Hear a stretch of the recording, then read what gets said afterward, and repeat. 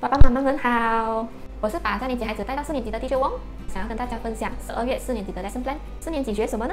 虽然我们说哈会把这个三四年级的孩子呢交给补习外面的学校老师去教，可是呢在十二月呢还是会由我们中心老师去教孩子。但是你不要担心，因为我们都是一群能教补习的人，是不是很厉害嘞？这周呢我们是学国语，国语呢是由我们的 DJ 瓜教，DJ 瓜是国文相当厉害的老师。这周的国语他安排了让孩子认识四年级的国文标准考卷子。你的光会教他们分析国文的试卷一和试卷二，还会教他们呢怎样在试卷里得到更好的分数。因为星期五才得空，所以呢星期五才会用 Zoom 和孩子们一起分享这个三年级和四年级有什么不同。像你在 Review 听到的陪伴孩子的两本书 Presentation，还有就是心灵上的准备。来到了第二周，我们学华文，我们的华文会由地球柱来教。地球柱会教什么呢？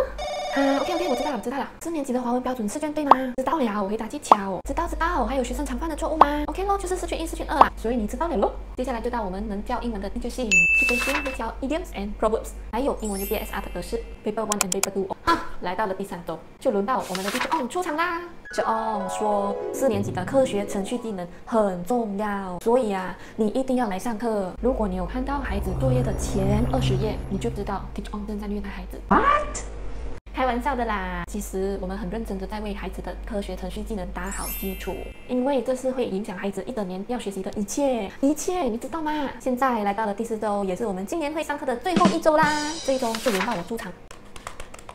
数学是我的强项，这一周我不只是教他们数学哦，还有好玩的社会心理学，你觉得我会吗？到时就由你的孩子来告诉你。十二月二十四号。